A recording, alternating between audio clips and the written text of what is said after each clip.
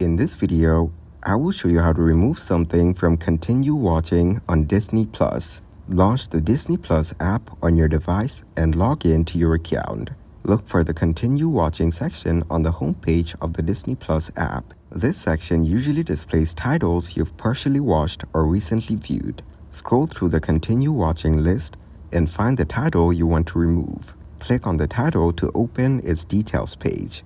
On the title's details page, look for an option that allows you to manage or remove the title. This option might be represented by three dots or a similar menu icon. Click on the menu icon or the option that allows you to manage the title. Look for a remove from continue watching or hide from watch list option and select it. If prompted, confirm that you want to remove the title from the continue watching list. The title should now be removed from the list and you won't see it in the continue watching section anymore. If the title still appears in the continue watching list after removal, you can try refreshing the Disney Plus app. Close the app completely and reopen it to see if the list updates correctly. Thanks for watching, leave a like and subscribe.